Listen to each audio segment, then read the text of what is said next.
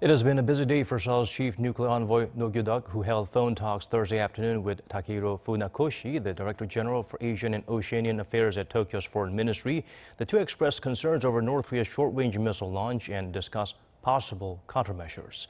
They also agreed to continue cooperation and close communication over issues concerning North Korea.